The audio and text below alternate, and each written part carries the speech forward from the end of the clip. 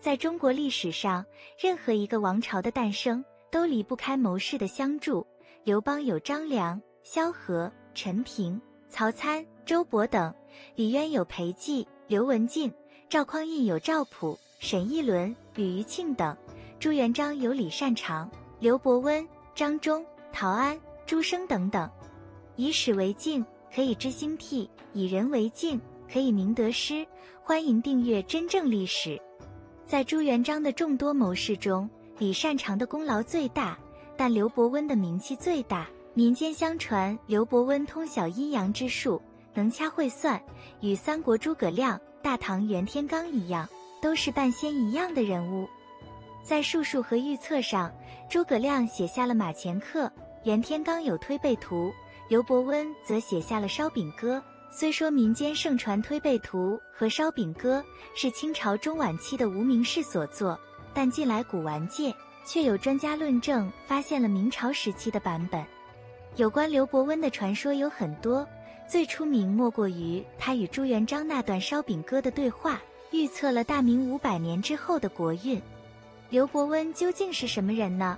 他为什么不投奔张士诚和陈友谅，反而投奔了势力最小的朱元璋？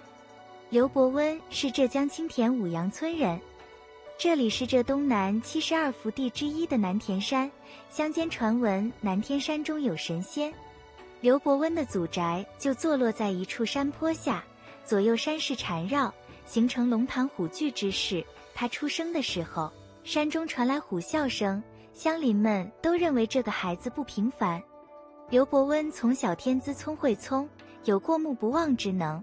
十二岁时就考中了秀才，被乡里人称赞为神童。二十三岁的时候，他前往京城参加会试，成功考中进士。可惜那时元朝政体混乱，他不得不回家，在家中待了三年。这三年间，他多次前往山中寻访神仙。从那时候开始，他就开始钻研周易玄学，颇有心得。三年后。他被朝廷安排去江西高安县当县城正八品，相当于常务副县长，协助知县处理政务。他为人正直，不惧权贵，很快遭人陷害，差点入狱。幸亏上司力保才无恙，不得不回到青田老家。居家期间，他喜欢与一些方士交往，探讨玄学知识，偶尔也帮别人看相，赚几个养家的银子。由于他算得准。名气也越来越大，与宋濂、张毅、叶琛并称为浙东四先生。期间认识了李善长，二人交厚，至正三年（一千三百四十三年），他被朝廷任命为江浙如副提举，兼任行省考试官。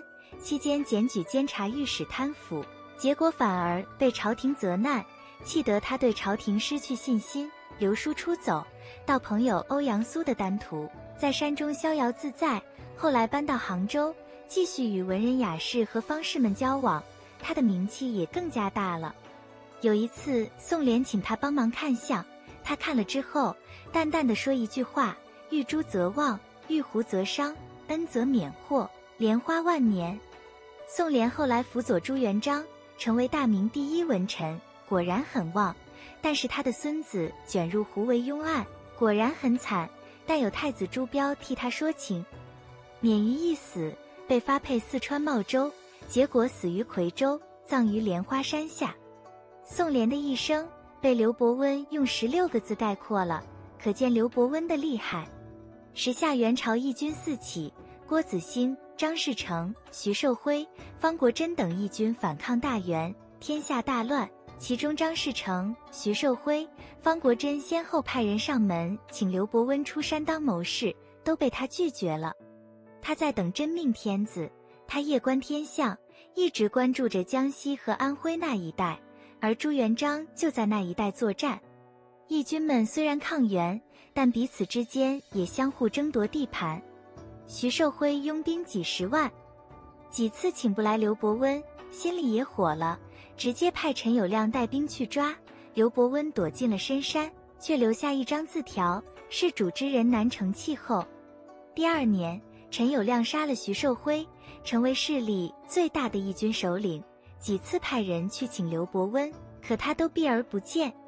烧饼哥为朱元璋吃饼时和刘伯温探讨大明国运时的对话，其中精准预言了朱棣造反以及其年号、土木堡之变、魏忠贤乱政，甚至是辛亥革命等等事件。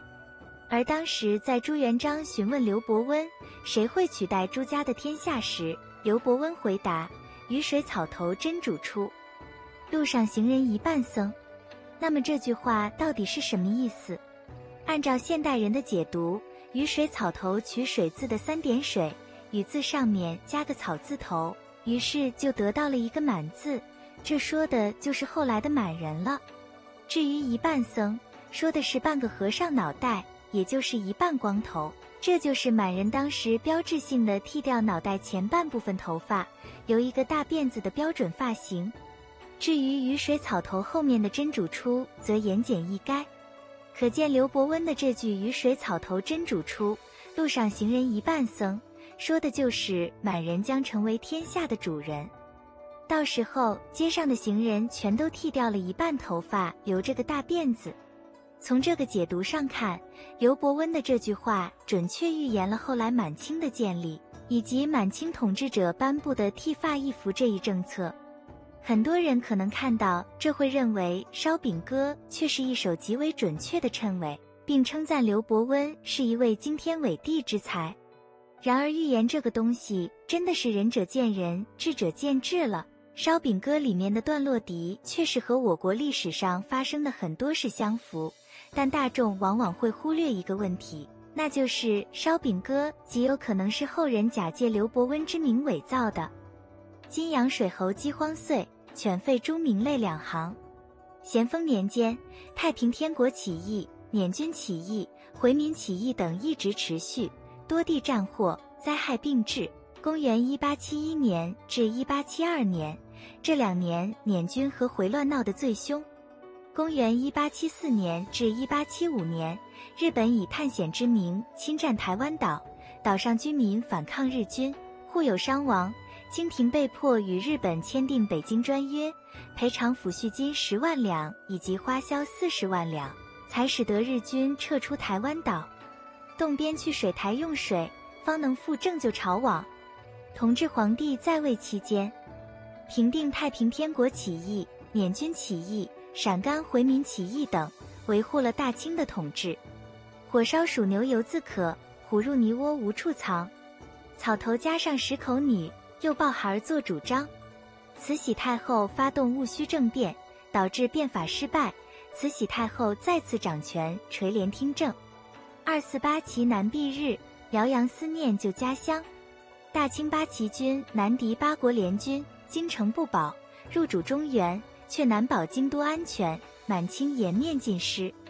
东拜斗，西拜齐，南逐鹿，北逐狮。东指日本，西指美国。南指欧洲各国，北指沙俄，分南分北分东西。偶逢一人在楚归，八国联军与清廷签订条约，瓜分中国。逃往西安的慈禧太后迷信不走回头路，坚持走河南回京。马行万里寻安歇，残害中女四目击。八国联军侵入北京，慈禧太后带着光绪皇帝逃往西安。清廷正式向列强宣战后。各地官员与各参战国签订和平协议，及东南互保，导致慈禧太后孤立无援，无奈妥协，签订了丧权辱国的辛丑条约。六一人不识，山水道相逢。戊戌第七君子张印环，因八国联军侵华遭牵连，被慈禧太后下令处死。黄龙早丧赤城中，朱阳鸡犬九家空。